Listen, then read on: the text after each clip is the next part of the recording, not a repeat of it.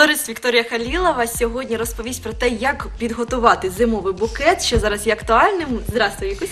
Иночка, добрый день, я очень рада вас видеть снова. Сегодня я вам расскажу, друзья, э, как нужно ухаживать за цветами зимними и в какой, э, какие цветы в этот период как бы, можно покупать и дарить своим девушкам. У меня как бы нет стандартов, я так и скажу. Э, Всегда привыкли, если же зима, что-то красное, что-то такое, вот обычные розы и так далее.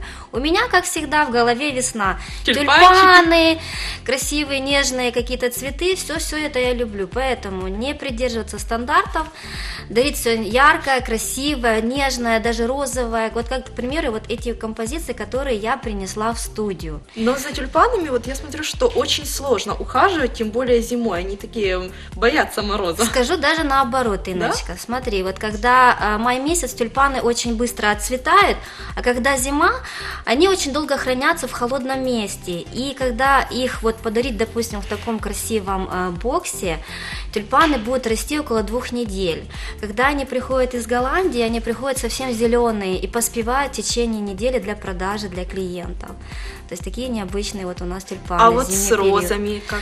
Розы, розы боятся очень холода, то есть э, ноль, э, температура ноль еще нормально для них, а когда уже идет минус 3, цветы, любые букеты, как бы мы для своих клиентов прячем в специальной упаковке, если же этого нет, какие-то специальные пакеты, потому что цветок, в принципе, два часа он еще выглядит прилично, а через два часа, получается, погибает, и, конечно, подарок получается уже А вот как испорчен. поступить парню, который идет к своей девушке на свидание, несет охапку роз, долго ее ждет, потому что девушки, как всегда, опаздывают, и цветочек немножко подмерз. Как подготовить цветок к морозу?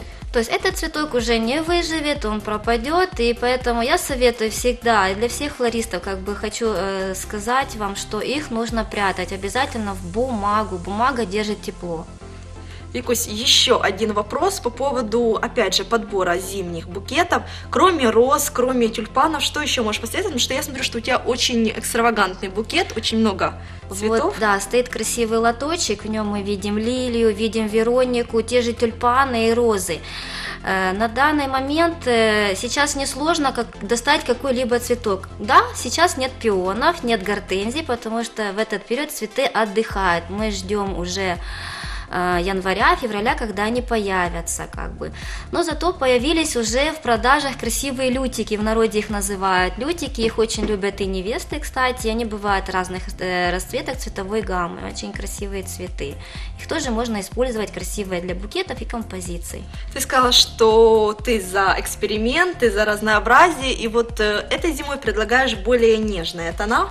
Как бы очень много красного. Как привыкли по стандарту, когда наступает Новый год, все видят что-то красное, золотое, может быть что-то серебряное. Для этого можно использовать какие-то декоры к елкам, к веночкам, где много красных шиш- э, шариков новогодних, это же пуансетию, комнатные растения используют, это все стандарты. Но оно все как бы приедается, мы видим это в каждом магазине, в каждой студии, в любой магазин зайди, все украшено в этих стандартных оттенках. И хочется, как любой девушке, нежности. Все-таки цветы, вот они осенние оттенки, они очень нежные, как бы сама девушка ассоциируется с этими букетами. А вот что ты посоветуешь тем же самым невестам, которым на улице во время зимних фотосессий очень долго приходится держать букет в руках? Какие цветы больше выдержат и до конца вечера, потом при перепаде температуры не увянет букет, а только будет хорошо выглядеть? Хочу вам сказать, что любой цветок боится очень сильно холода. Когда на улице 0 плюс 5, э, букет э, свадебный выдержит эту температуру. У невесты есть шанс и возможность э, провести фотосессии около 3-4 часов. Но когда сильнейшие морозы, лучше проводить эти фотосессии в помещении, в каких-то студиях, так как цветок погибнет. Либо 2 часа фотосессии, и букет уже не пригоден при морозе. Просто потом он уже начинает темнеть цветочек. А вот по поводу перепада температур, как оградить от этого букет? Потому что сразу, когда заходят в торжественный зал невесты, от тепла тоже цветочки немножко вянут.